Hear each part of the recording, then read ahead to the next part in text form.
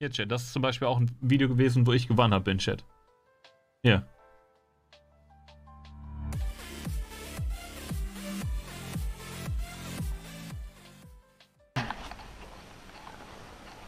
So. Hi. Ich sitze noch hier. Wir haben ähm, ziemlich früh morgens, um genau zu sein. Wir haben äh, 4.45 Uhr. Und ähm, ich bin jetzt kurz davor, die Tortunge zu erklimmen. Ich sitze mit meinem Essen, habe noch kurz was gemacht und äh, mache mich langsam was ich fertig. Bin ziemlich früh aufgestanden, ich bin ziemlich fertig. Schon ein bisschen vor. dass ich fertig bin. und ähm, ja, gleich Trolltunga.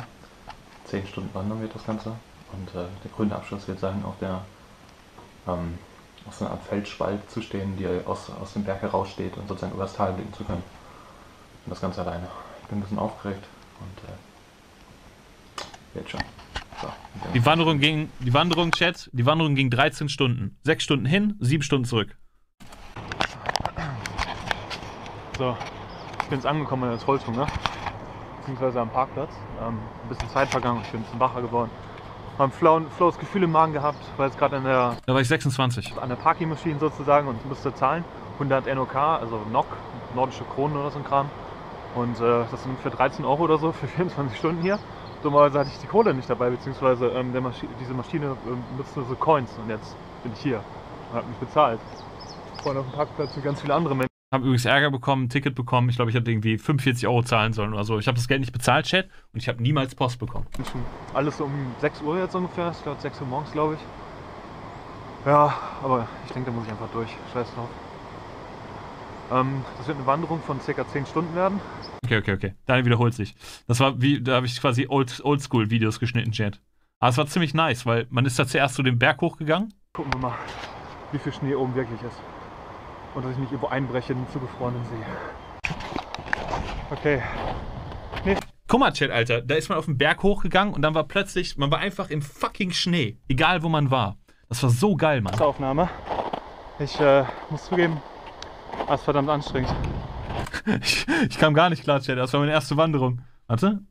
Und das Ding ist halt so, dass man ging quasi immer weiter und weiter in diesen Schneelandschaften. Und das Hauptproblem war, dass überall unter dem, unter dem gefrorenen Schnee äh, so, so ein Flusslauf war oder Flussläufe waren. Und deswegen, ich habe es gerade einmal ange, ange, angedeutet, gelegentlich ist man dann irgendwo draufgetreten und ist quasi in so einen Fluss reingetreten, Alter. Und der war halt natürlich nass. Und dann war dein ganzer scheiß Stiefel nass.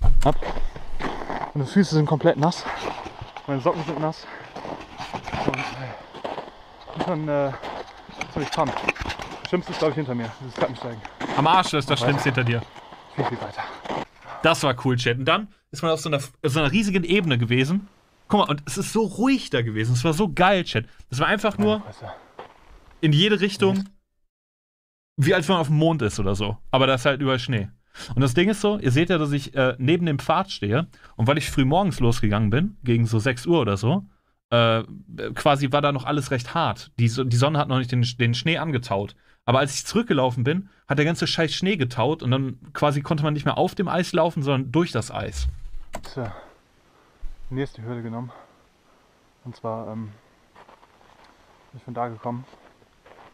Und äh, Das war übel der scheiß Aufstieg, Chat. Man musste auf allen Vieren das Eis hochklettern. Richtig nice. Okay, warte, ich spule ein bisschen vor, okay? So. War ich da schon da?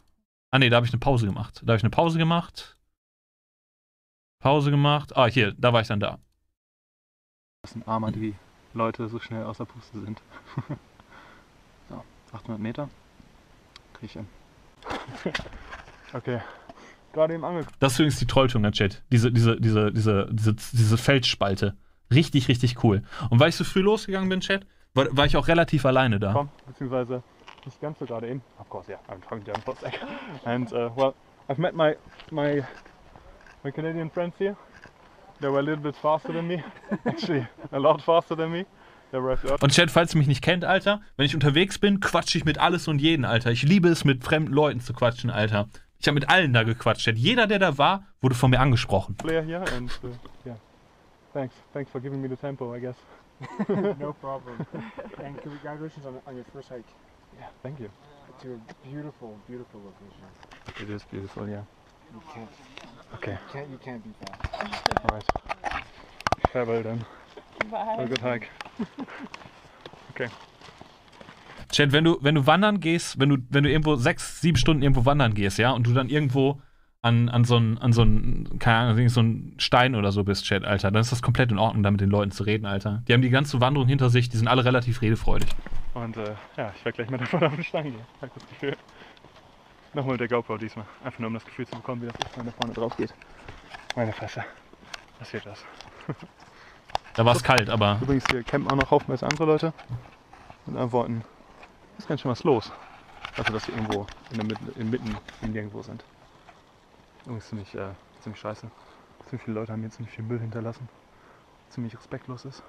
Das stimmt wirklich, Chat, Alter. Die Wichser, Alter, die haben da teilweise so Grillkohle hochgeschleppt und haben dann die Grillkohle-Packungen einfach dahin geworfen und überall lag Müll.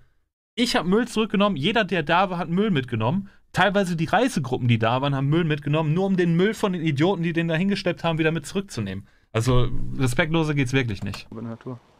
Ich werde noch ein bisschen chillen. Gucken, mich ein bisschen regenerieren. Ah, mein Rücken und so weiter. Und dann mache ich gleich nochmal den Walk of Death. Ein paar Fotos habe ich schon.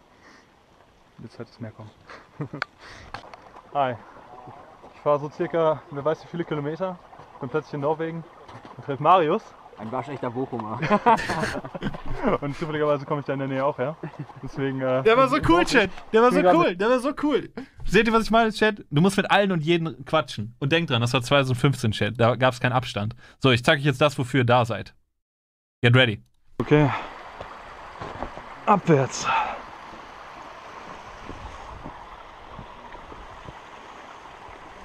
Falls ihr es nicht wisst, Chat, oder falls ihr mich noch nie auf einer Messe oder so getroffen habt, Chat, ich bin auch ein großer Grabbel-Fan, ja? Kein Scherz. Ich bin großer Grabbel-Fan, Chat. Wenn, wenn, wenn, wenn ich es dürfte, Chat, ich würde immer meinen Arm um deine Schulter legen, ich würde dich umarmen, ich würde dich knuddeln, ich würde es immer machen, Chat. Ich, ich liebe es, Leute anzufassen, wenn ich mit denen rede. Ist das weird? Ja, ne?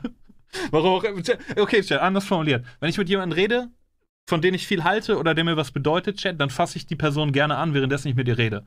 In einer nicht creepy Art und Weise. Hoffentlich zumindest. So, nach all den ganzen Scheißstunden hier hinlaufen, so viel Schmerzen, mein Rücken tut mir immer noch weh, bin ich jetzt endlich hier. Ich war gerade schon drauf und habe schon ganz viele Fotos gemacht. Aber ich dachte mir, ich muss auf jeden Fall noch mal mit der GoPro drauf und einfach nur einfangen, wie das ist, wenn man hier oben hochgeht, runter guckt, das ganze Gebiet überblicken kann. Und da vorne fällt Eis runter. Sehr, sehr vertrauenserweckend. So.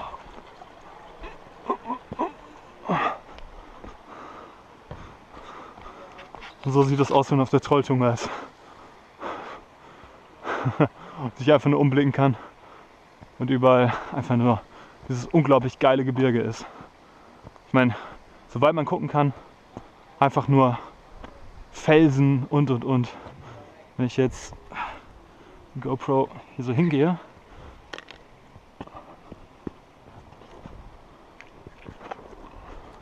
kann man auch über den Rand gucken, wie tief das da eigentlich runtergeht. Ah, ich wäre tot gewesen, wenn ich runtergefallen wäre. Aber ich bin zum Glück nicht runtergefallen. Mit dem Unterschied, dass ich mich nicht so wohl fühle dabei und jetzt langsam aber sicher wieder zurückgehe und auch oft genug jetzt hier drauf war. Hier ist ein Seil, was nichts bringen wird.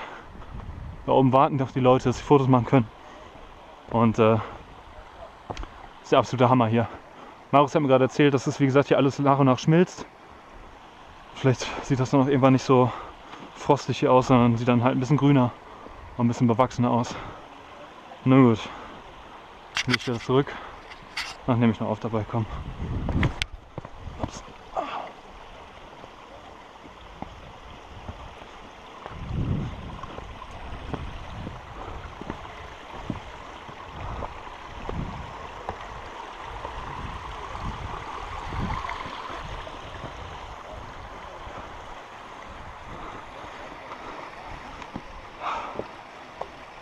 Dann sind wir wieder oben.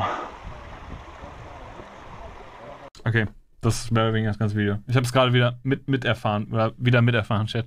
Nochmal alles durchlebt. Nice shit, Mann. Ah, seht ihr, Chat? Ich hatte schon immer so eine, leichte, so eine leichte Neigung, dass ich irgendwo hingehen muss, wo ich wandern oder wo ich irgendwas Interessantes erleben darf. Deswegen, Chat, much important. Ich muss unbedingt mal ganz, ganz dringend raus. Irgendwo hinlaufen, wo wenig Menschen sind. Wobei, ganz ehrlich, Chat, auf dem Rückweg, als ich da war, also als ich dann da quasi, ähm, als ich äh, wieder auf dem Rückweg war von, von der Trolltunger zum Parkplatz, da kamen mir so viele Leute entgegen. Also das, was ihr da gesehen habt, das war nur möglich, weil ich morgens um 5 Uhr aufgestanden oder um 4 Uhr aufgestanden bin und um 6 Uhr dann tatsächlich auch den Hike gestartet habe. Hätte ich das später gestartet, Chat, äh, wäre das eine richtige Touristenattraktion gewesen. Also, Chat, das bedeutet, wenn ihr unterwegs seid und irgendwo hinwandern wollt, Chat, seid euch nicht zu peinlich, sehr, sehr früh morgens aufzustehen mit dem ersten Licht. Es lohnt sich. Alles besser als tausend Menschen um sich herum zu haben. Finde ich zumindest.